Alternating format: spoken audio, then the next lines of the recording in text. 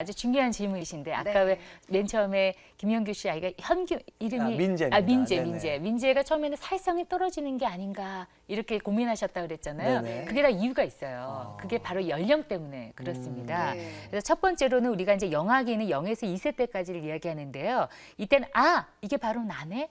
이걸 알아가는 시기예요.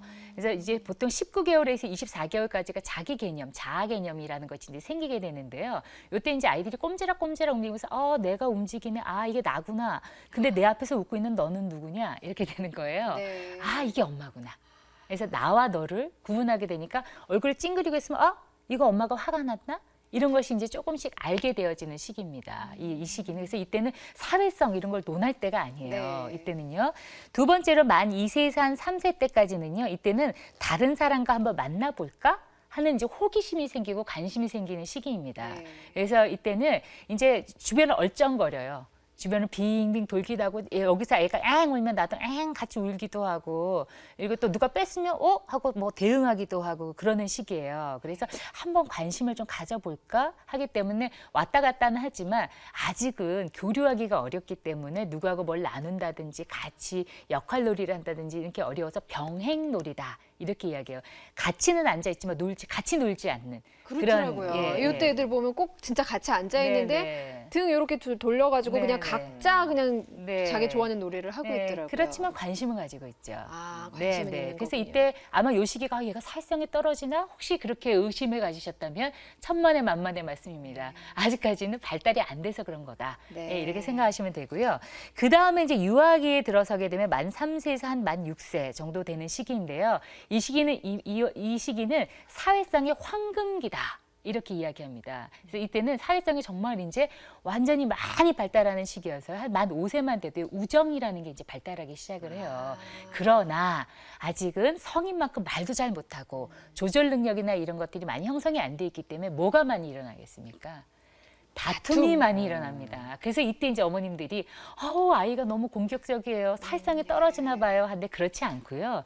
그걸 연습해 나가는 시기이기 때문이다. 이렇게 이해, 이해 하시면 되고요. 네. 이때는 아이들이 상징놀이나 이런 것이 정점에 이릅니다. 그래서 이때 막 신데렐라, 백설공주, 뭐 맞아요. 파워레인저 이런 네. 거를 친구들하고 재밌게 할 수 있는 너는 같이 새엄마에 나는 네, 신데렐라 할게. 그렇죠, 그렇죠. 이러고 놀더라고요. 예, 그래서 왜 너만 신데렐라 해? 뭐 이러고서 싸우고, 싸우고. 이제 이러는 시기가 되죠. 네. 지금 저희 아들 민재가 이제 그 6세인데 네네. 이제는 뭐 친구들하고 노는 게 너무 재미있고 네네. 뭐 네. 계속 이제 어린이집 끝나고도 네. 그 집에 누구를 초대해서 놀, 그럼요. 놀면 안 되냐 이런 네. 거 가지고 아. 이제 좀 네네. 때를 쓰고 그러는 상황인데 네. 지금은 너무나도 잘 놀고 있습니다. 그쵸. 뿌듯하시겠어요, 이제. 네, 네네. 이제는 뭐 다 컸네 뭐 이런 분위기라서 예, 그게 이제 연령이 그렇게 성장하기 때문에 그렇습니다. 그러니까 만 5세가 되면 이제 이런 행동들이 이제 가능해져요. 네. 그러면 이제 아동기 이제 학년기 학교 들어가면 어떻게 되느냐 이때 이런 말이 있어요 사실은 엄마 팔아 친구 사는 시기다 아. 말이 너무 격하죠 네. 어머님들 마음에 준비하세요 이제 어머님은 뒷전이고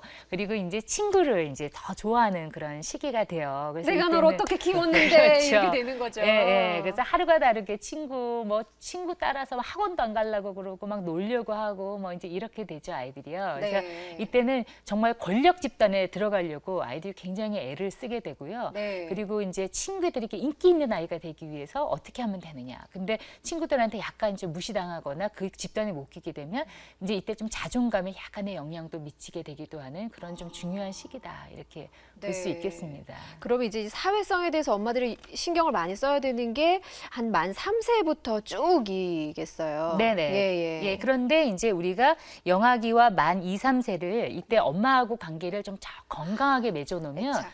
예, 애착을 잘 맺어놓으면 이제 이것이 기반이 돼서 다른 아이들하고 좋은 관계를 맺는 아주 터전이 될 수가 있습니다. 네.